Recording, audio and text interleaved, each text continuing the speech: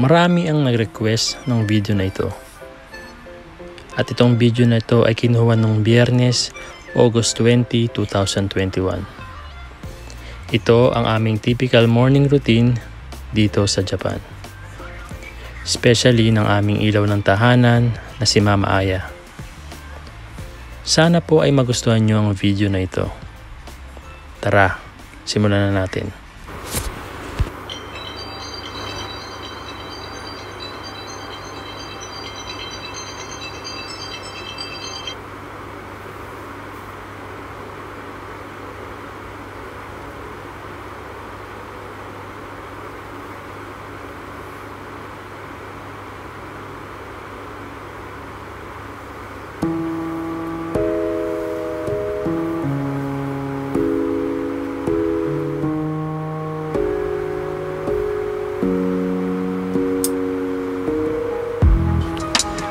Siya si Mama Aya, ang aming ilaw ng tahanan.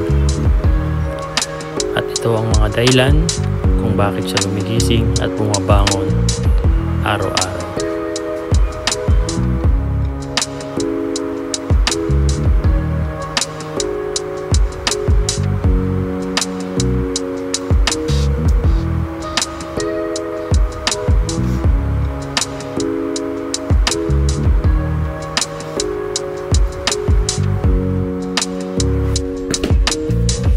Dito sa Japan ay katulad din ng buhay sa Pilipinas. At kahit sang sulok ng mundo, pare-parehas lang. Kailangan nating bumangon at magtrabaho.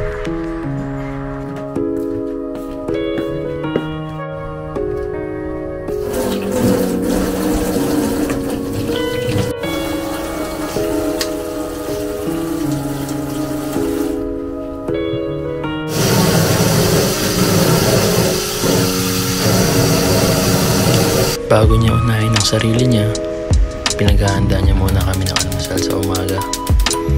Si Mama Aya kasi yung tipo ng taong hindi nag-aalmusal sa umaga.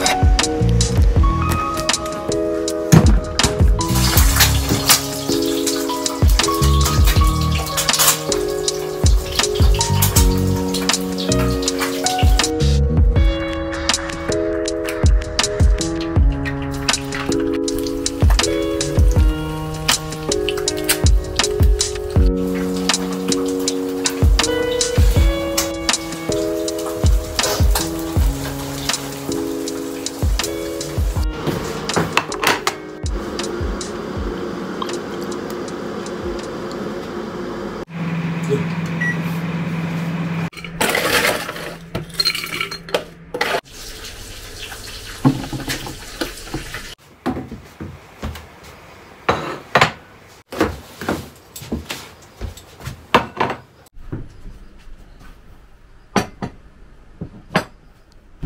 り返します金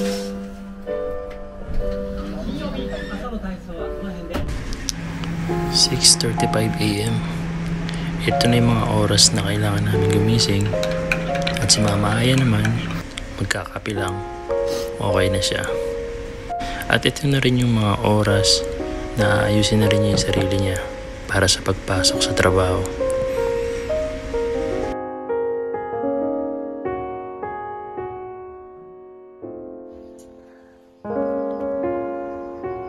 Tachan.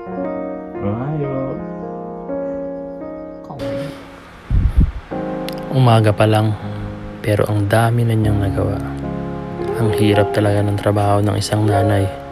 24 oras. Gawaing bahay, tapos papasok pa ng trabaho. Good morning.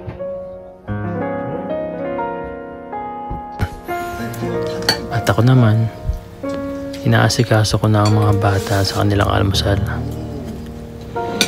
Si Yuna ay sobrang antok sa umaga at kinakailangan pang subuan dahil sobrang limitado lang ang oras namin tuwing umaga. Si kuya naman ay wala sa ngayon dahil sa kasalukuyang summer vacation at nagbabakasyon ngayon sa aking biyanan. Hindi namin maiwan sa bahay dahil pare-parehas kaming may pasok sa trabaho at si Yuna naman ay pumapasok bilang preschool.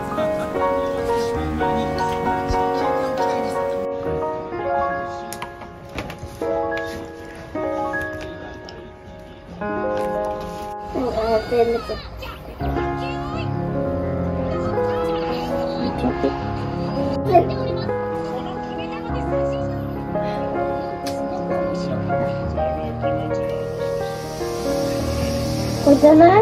Orte? Oh. Hmm? Hey. Wow. Okay. Wow. Wow, Dada. Jakie dość czarują? Gdzie? So, so, so.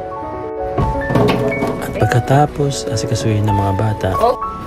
ay naghahanda na rin si Mama Aya ng pangtanghalian na kakainin namin kapag kami ay nasa trabaho na. Araw-araw niyang ginagawa ito upang makatipid kami dahil sobrang taas ng bilihin dito sa Japan.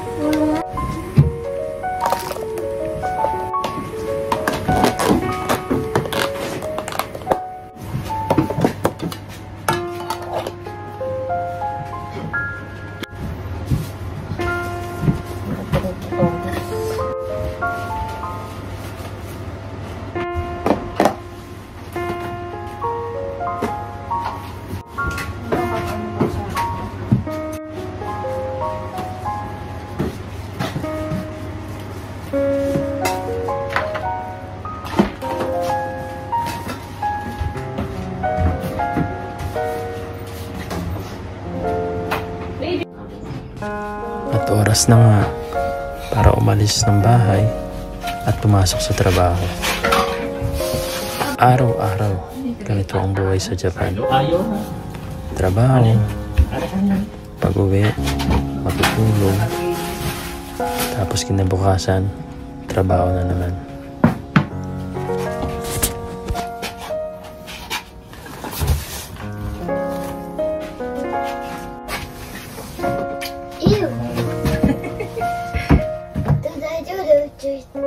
お茶が回すと犬だから。